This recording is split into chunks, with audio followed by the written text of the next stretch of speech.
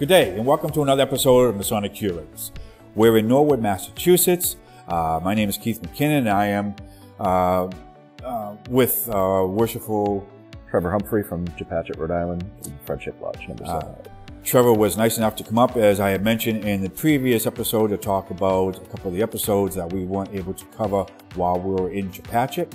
Uh, and today we're going to talk about the, the building and the bank.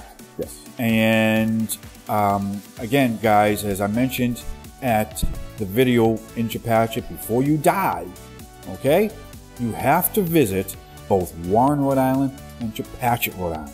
They're a must, both of them. Uh, both of them are phenomenal buildings. Uh, Chepachet not only has a great history with the lodge and the building, but also um, the, the two things that we discussed the Elephant Bridge and the Dorr Rebellion that happened right outside. And as I, I think I may have mentioned, if you do go down to the lodge, make sure you stop off at the tavern on Main Street, or is the Main Street Tavern? Tavern on Main. Tavern on Main. Uh, go in, uh, belly up to the bar, and have a drink, and maybe we might sit at the same chair where that young lady was shot by her husband and killed. Because that's one of the ghosts, I believe, that haunt the, the inn. That's one of the stories. Um, but in any case, we're not talking about the ghosts in the, in the tavern. We're talking about the building at Chepachet. Now, what I understand is your lodge was found, formed in 1800. You met at the tavern, like many Masonic lodges did. But the building was not originally Masonic. Um, it was something totally different, and then you guys came in at a later point. Can you? Uh, well, so not quite. Um, so yes, when we when we were first meeting, uh, Friendship Lodge met at the tavern. Um, it would occasionally meet a few other locations, but the tavern was the main one.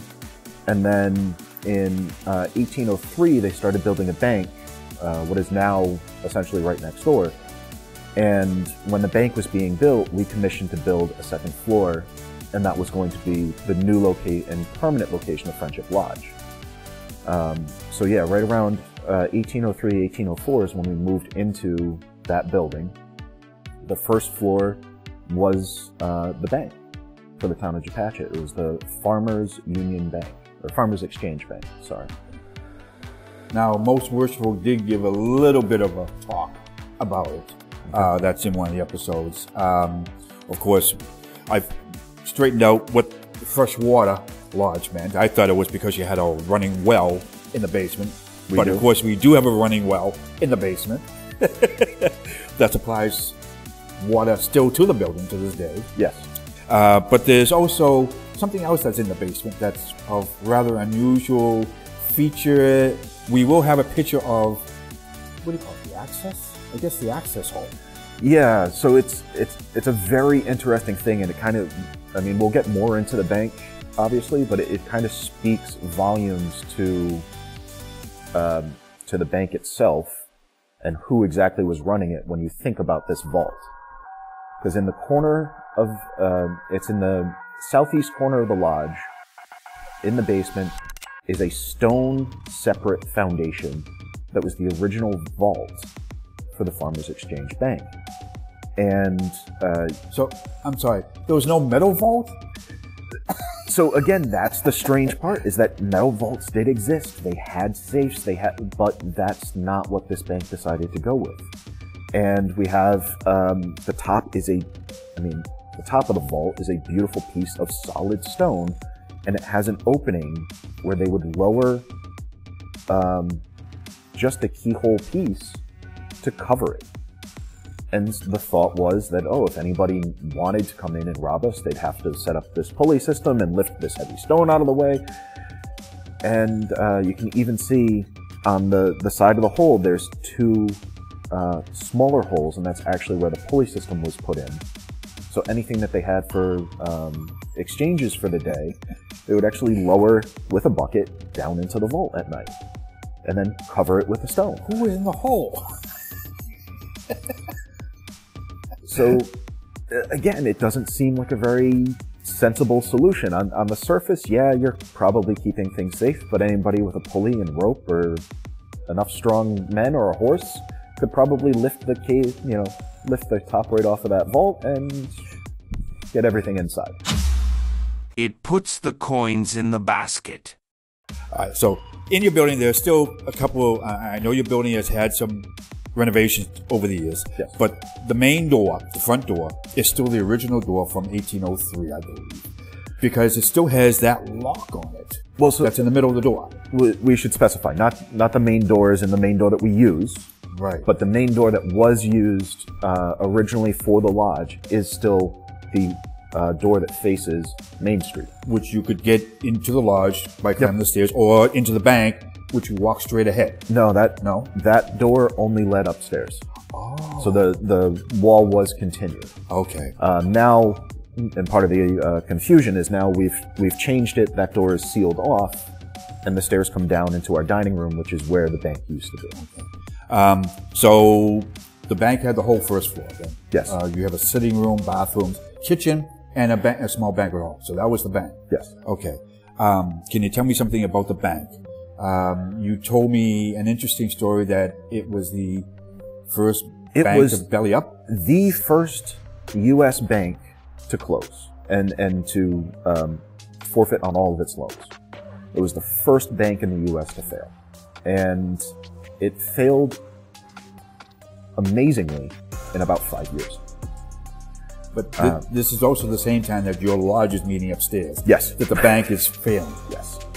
Um, so luckily, outside of physical address, we did not share anything with the bank. So this this is, does not really tie back to us.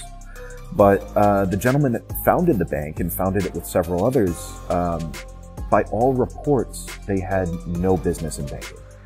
Uh, their books were never kept clean. They um, it was hard to keep for them to keep records of who they were loaning money to. Um, they were printing more money than they could because at the time there was not a centralized currency. So every bank had their own promissory notes, and so they were printing um, their own money at an extent that they were overlending themselves.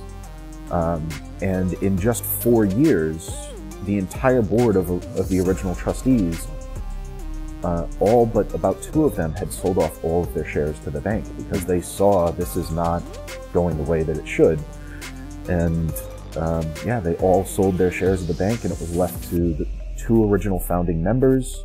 And eventually, the state of Rhode Island came in and said, "You guys clearly are overlending, and we need to shut this down."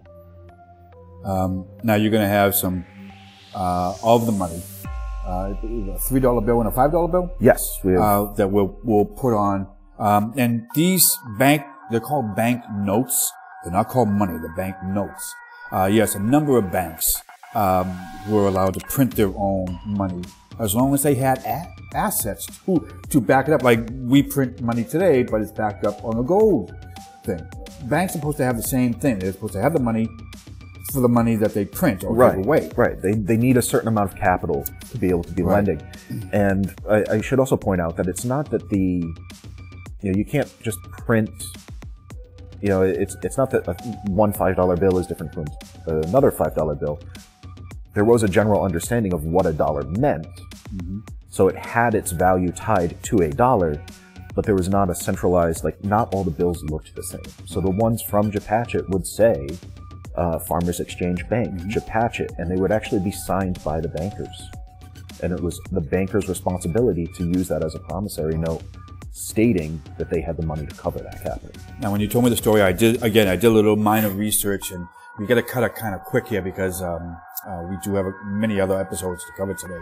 Um, but I did a little quick research. Um, yeah, I think one or two commissions were appointed by the state legislature to look into the bank. Yes. Um, one of them came back and said, "Yeah, they, as I mentioned to you earlier, yeah, they printed fifteen thousand dollars worth of money, but only had ninety-three dollars in assets."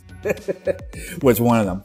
Um, I don't know if it was the same report from the commissioners or not, but as I mentioned to you uh, when we were down at Chepachet, um, they actually mentioned in the report the stone vault, and and what a weird way to To, secure to your try money to keep money safe. to put it in Yeah. a basement in a stone vault.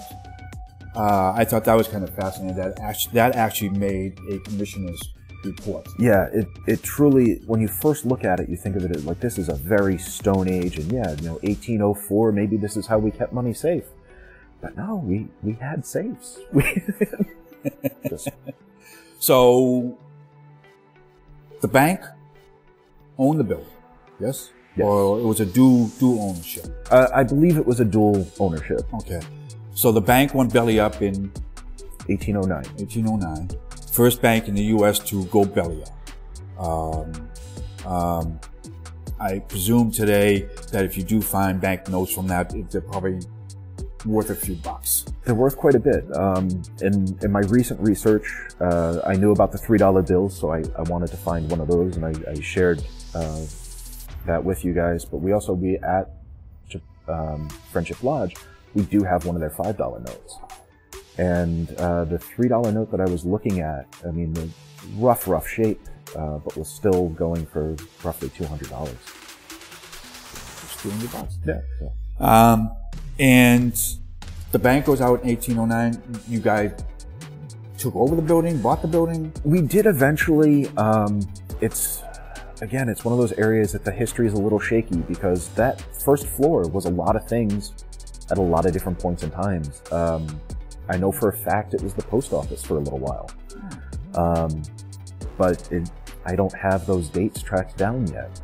Um, but yes, at, at a certain point, we did wind up taking over the full building, and uh, you know we've but we've been in that building since it was built Wow.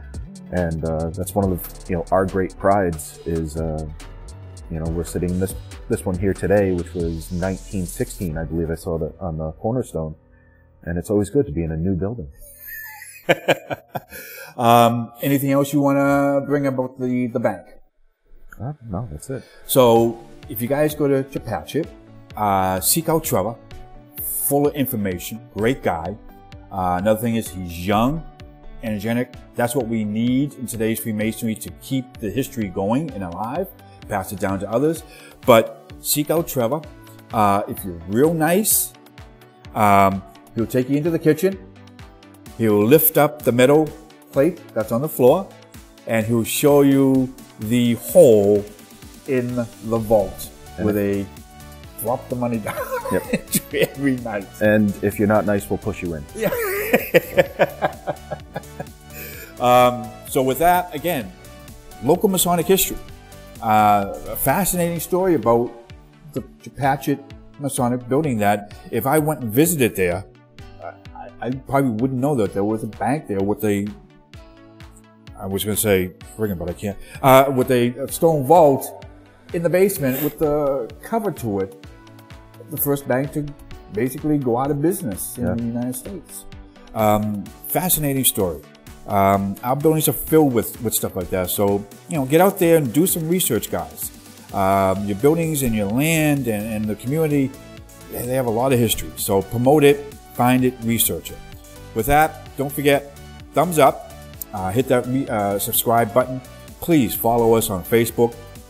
And above all, if you don't want to do the thumbs up, hit the subscribe button or follow us on Facebook. Pass the word about Masonic Curators. Uh, we got people now posting on their Facebook pages, on their large Facebook pages. We thank you very much for the um, Grand Chapter of Pennsylvania for posting a couple of our uh, videos and postings on their website. If you find something of interest, feel free to, to post it. Without Trevor, I can't thank you enough thank for you. coming up here, finishing off this series, um, and and we hope at some point in time we can get back down to Chepachet to to do some more history because there's so much there. You guys are always welcome. Thank you very much. With that, thank you.